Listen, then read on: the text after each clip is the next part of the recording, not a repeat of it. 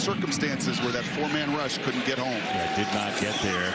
Another clean pocket for Thompson, reaching back to launch down the sideline, and he's got it into the end zone for touchdown. And they have when they've been cooking here in the first quarter inside the red zone. It is Washington again, and that's absolutely blown up.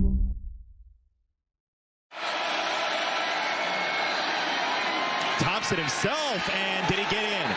The answer is yes. Touchdown, Nebraska. That's that's a tall number. Uh, that's that's more than country strong. First down.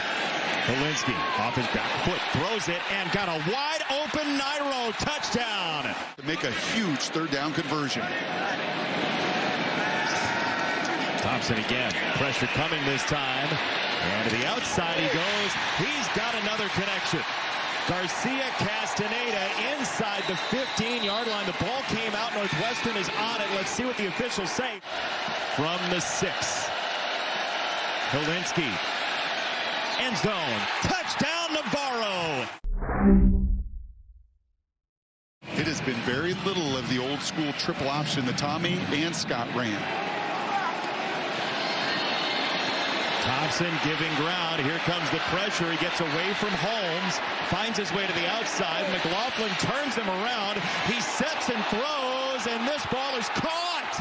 Garcia Castaneda out of a total scramble inside the 20-yard line. Grant again, the tailback. And it is Grant, the JUCO transfer, diving forward for a Husker touchdown. That is what has made the program tick when it has gone smoothly. On a handoff, Cam Porter accelerating to the outside and Gash plays. There's a fumble, ball's on the deck. Three Huskers are there. Buford knocked it free, and let's see. Wallace got away with some early contact on an underthrown ball there, one of the first by Thompson.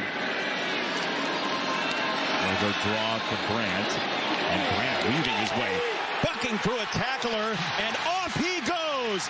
Grant surges in for a 46-yard touchdown. Porter is the Wildcat back on a first down and goal for Northwestern. It's Porter dodging and diving and scoring for the Northwestern touchdown.